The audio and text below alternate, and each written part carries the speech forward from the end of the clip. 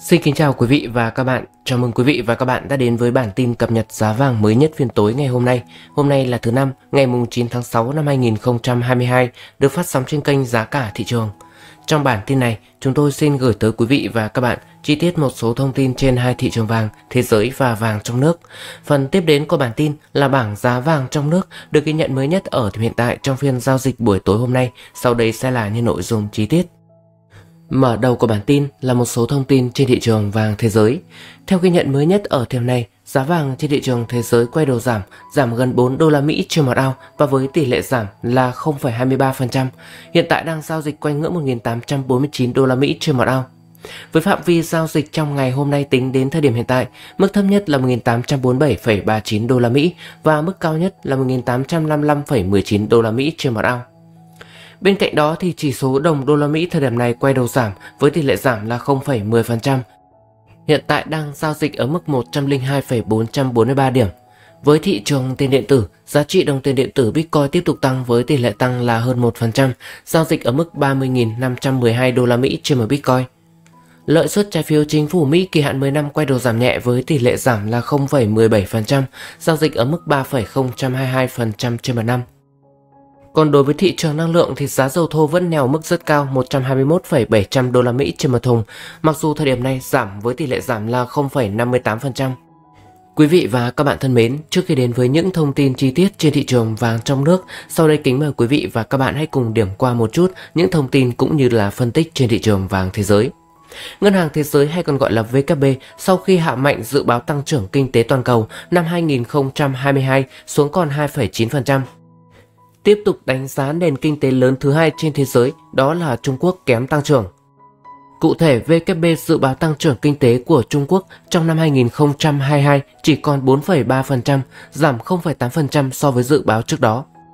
Nguyên nhân chính là do quốc gia này đã thực hiện các biện pháp phong tỏa các địa phương nhằm siết chặt dịch bệnh COVID-19. Như quý vị và các bạn cũng đã biết thì thông thường các thông tin kinh tế kém tích cực sẽ đẩy giá vàng tăng cao.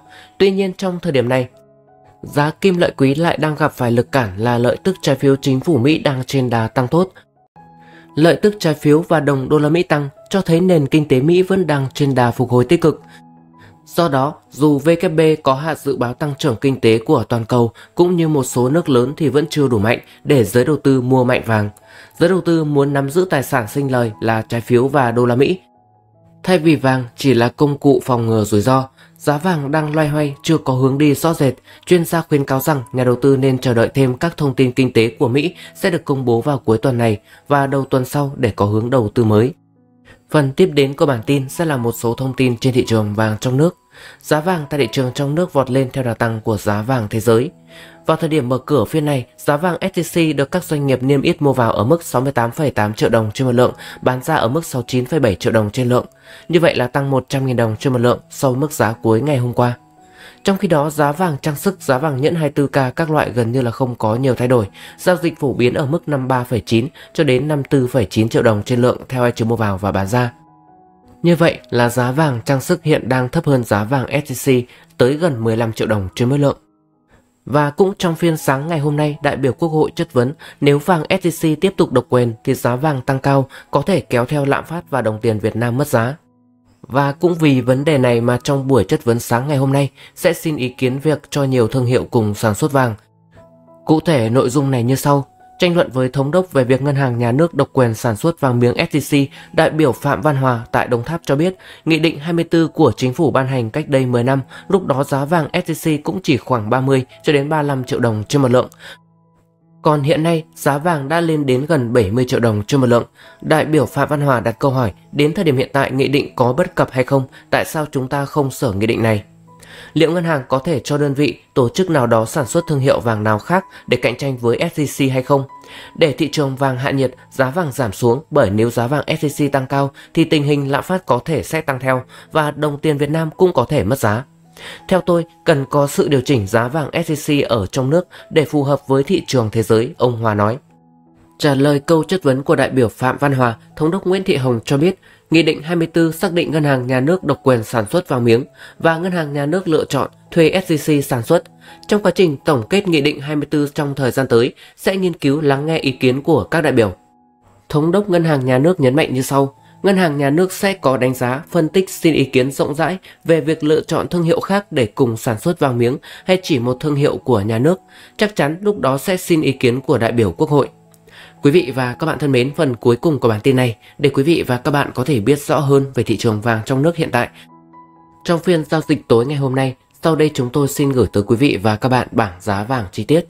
Kính mời quý vị và các bạn hãy cùng theo dõi và tham khảo thêm nhé.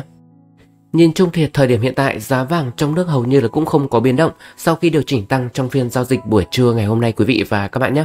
Hiện tại đang được niêm yết như sau. Đầu tiên sẽ là giá vàng SJC tại ba thành phố lớn. SJC Hồ Chí Minh từ 1 cho đến 10 lượng, mua vào 6 triệu 880 nghìn, bán ra 6 triệu 970 nghìn, tăng 100 nghìn đồng trên một lượng ở chiều mua vào và bán ra, hay là tăng 10 nghìn đồng trên một chỉ ở chiều mua vào và chiều bán. Chênh lệch giữa chiều mua vào và chiều bán ra đang dao động trong khoảng 900 nghìn đồng trên mỗi lượng.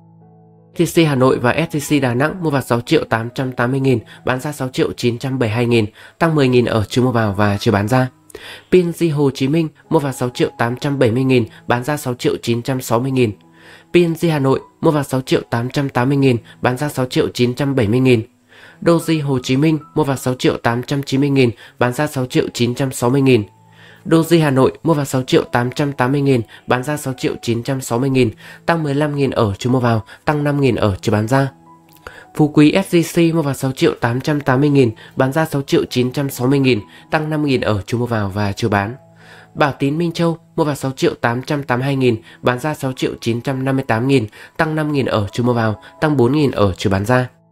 Mi Hồng SJC mua vào 6 triệu 920 nghìn, bán ra 6 triệu 947 nghìn, tăng 30 nghìn ở chiều mua vào, tăng 12 nghìn ở chiều bán ra. Tiếp theo sẽ là giá vàng SJC một số ngân hàng. Ngân hàng Eximbank mua vào 6 triệu 860 nghìn, bán ra 6 triệu 950 nghìn, tăng 10 nghìn ở chiều mua vào và bán ra. Ngân hàng SCB mua vào 6 triệu 860 nghìn, bán ra 6 triệu 960 nghìn, tăng 10 nghìn ở chiều mua vào và chiều bán. Ngân hàng T-Bank Gold mua vào 6 triệu 880 nghìn, bán ra 6 triệu 960 nghìn, tăng 15 nghìn ở chiều mua vào, tăng 5 nghìn ở chiều bán ra. Ngân hàng Vietinbank mua vào 6 triệu 880 nghìn, bán ra 6 triệu 972 nghìn. Tiếp đến là giá vàng SJC ở một số tỉnh, thành phố khác. Thời điểm này vẫn duy trì là tăng 100.000 đồng trên một lượng ở chiều mua vào và chiều bán ra hay là tăng 10.000 đồng trên một chỉ ở chiều mua vào và chiều bán. Lệch giữa chiều mua vào và chiều bán ra đang dao động trong khoảng 900.000 cho đến 920.000 đồng trên mức lượng hiện tại thì đang được niêm yết như sau. SJC Nha Trang và SJC Cà Mau mua vào 6 triệu 880 nghìn, bán ra 6 triệu 972 nghìn. SJC Huế mua vào 6 triệu 877 nghìn, bán ra 6 triệu 973 nghìn. STC Bình Phước mua vào 6 triệu 878 nghìn, bán ra 6 triệu 972 nghìn.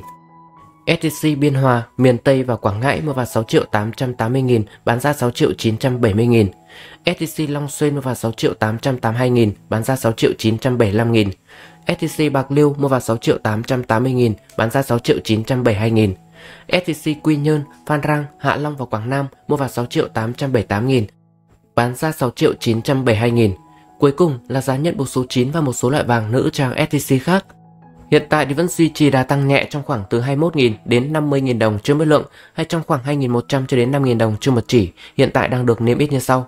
Nhận bộ số 9 từ 1 cho đến 5 chỉ mua vào 5 triệu 390 nghìn, bán ra 5 triệu 485 nghìn.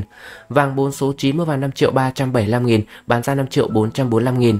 Vàng 24K mua vào 5 triệu 261,1 nghìn, bán ra 5 triệu 391,1 nghìn. Vàng 18K mua vào 3 triệu 899,2 nghìn, bán ra 4 triệu 099,2 nghìn. Vàng 14K mua vào 2 triệu 989,8 nghìn, bán ra 3 triệu 189,8 nghìn. Vàng 10K mua vào 2 triệu 085,8 nghìn, bán ra 2 triệu 285,8 nghìn. Quý vị và các bạn thân mến với những nội dung trên đã khép lại bản tin giá vàng mới nhất phiên tối hôm nay của chúng tôi.